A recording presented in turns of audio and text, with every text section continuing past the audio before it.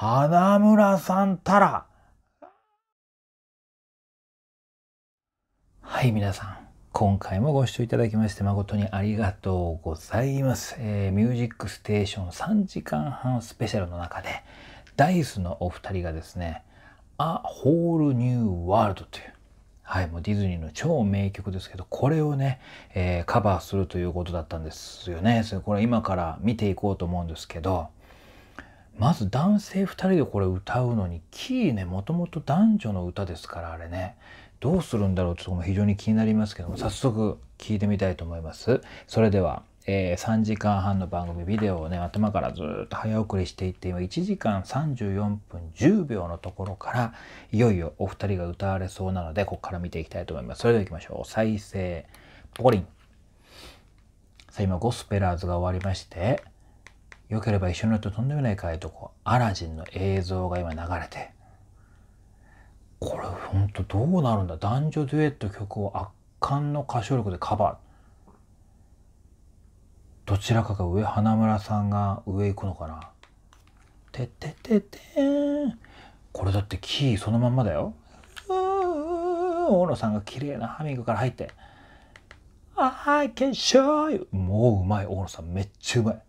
Shining shimmering panties うまい Daddy princess when you let you heart うまいね I can open your eyes うまい Take one by one, one うまい。うまいばっか言っちゃいましたけど。Nightmare On a magic carpet ride, I hold you away. いいビブラート。And that's the point of view. 綺麗な英語。高綺麗。Where I go. 聞いてた気持ち。Little dreaming. さあ、野村さん。A whole new world. 優しいロングトーン。Ever わあでも高いけど柔らかくまだね。わ柔らかい声。綺麗な発想ね、花丸さんも。I believe I was さあ、こっからですよ。女性のキー。綺麗な二人のハモリ。to the edges, diamond sky, ハリウ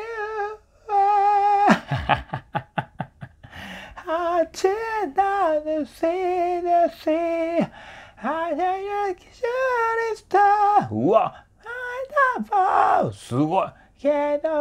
イスーラーホーーク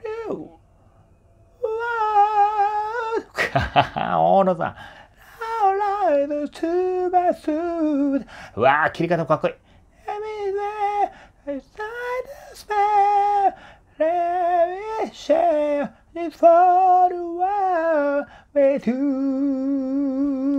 大野さん、綺麗なビブラート。こっから花丸さん高いよ。あ高でも全然苦しそうじゃないもんね。あ高いよ。うわ、大野さんも。Part of you, no one to tell us so. うわ。わ、高花村さんたら。うわ。すごい。すごい。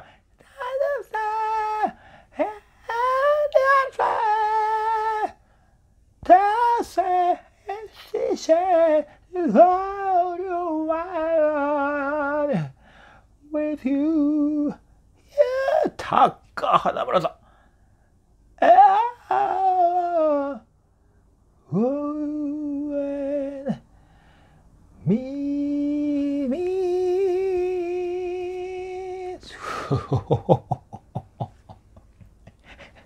二人ともいい表情で今お辞儀してますけどでしょうねそら完璧ですよ。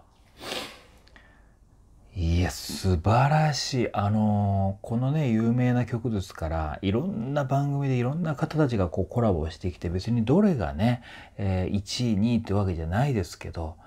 まず男性2人でこれをやったっていうことが今までほぼないんじゃないですかね。だってできないんですもん。基本的にはねやっぱり男性女性のもともと持ってるキーのこう違いというのがあってまあ男性でもすごいキーが高い人が女性のキーを歌うっていうのもギリいけるかなみたいなところがまあ常識的にはというか一般的にはなんですけど確かに音程的にすごい高いとこね花村さんも出しに行くのは頑張って出してるところはあったとは思うんですけど楽に葉の高さは出ないと思うんですけどでもね声自体はもう全然苦しそうな感じもなければむしろ花村さんの声って高音に行けば行くほどスパーンとこう抜けが良くなっていくしその高さのビブラートなのになんかすごい余裕感漂っちゃってますから。いやだからただただその音域が広いとかキーが高いというだけじゃなくて花村さんのあの歌い回しそれから声の通りの良さみたいなものも非常に綺麗に出てましたしそしてね、まあ、大野さんとのこうね声の重なりというのはもうダイスというグループで、えー、もう何十回何百回とこうやってきているので非常にこのね安定感が素晴らしいというか高いですよね。安定感が高いという日本語が合ってるか分かんないですけど何が素晴らしいかってもちろん音と音のこのね響き合いも素晴らしい音程もお互いぴっちり合ってるぴっちりじゃないきっちり合ってるピッチって言いたかったんですけど細かい音程のことピッチって言いますけどもピッチがきっちり合ってるでぴっちり合ってるって言ってしまいましたが、えー、その、まあ、お互いのこうね息のタイミングであったりとか切るタイミングみたいなものはもうこれはね言わずとも、えー、お互いも感覚的にねあの合う部分がきっといっぱいあると思うのでそこのこうえー、安定感も素晴らしかったと思うんですけど私は今今回のねこのハモリというか、えー、お二人のカバーを聞いてて大野さんのですね、えー、この洋楽を歌う時、まあ、英語の歌詞を歌う時のこの歌い回しとかこのね発音の綺麗さ私は英語を喋れるわけじゃないですけれども非常に際立っていたような気がします素晴らしかったと思いますよ。もしかしたらだから大野さんね私の勝手な想像ですよ。英語が結構ペラペラなのかまたはこう洋楽をたくさん聴いたり歌ったりしてきたことによって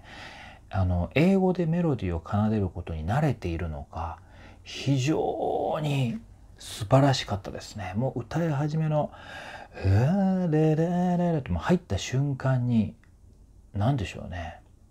あの声の今までこう聞いてきた大野さんの声ももちろんしっかりと安定してるんですけどよりこうどっしりとしたというかね音程リズムそれから歌詞が、えー、ずれる気配すらないという素晴らしい自信みたいなものを強く感じましたね。もちろんいい意味でですけど。しかも、まあ、このお二人ね花村さん大野さんがわっと歌ってるのをこう映像で見た時にもう一つ素晴らしいなところ2人ともなんですけど。というのが口の動かし方ですよね。えー、まあ、日本語ではない、え歌詞ね英語ですから余計にこう丁寧に歌われてる部分もあったとは思うんですけれども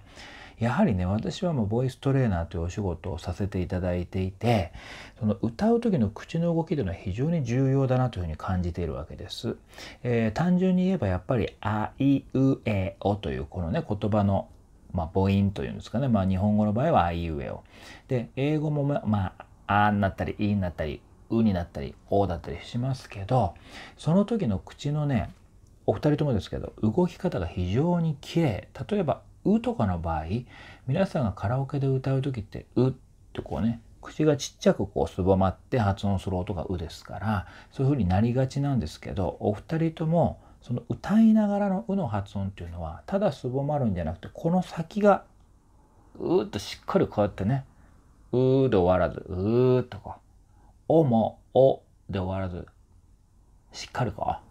この子なんていうんですかね北の国からのドラマでいう田中邦衛さんのね役だった五郎さん「ジョン。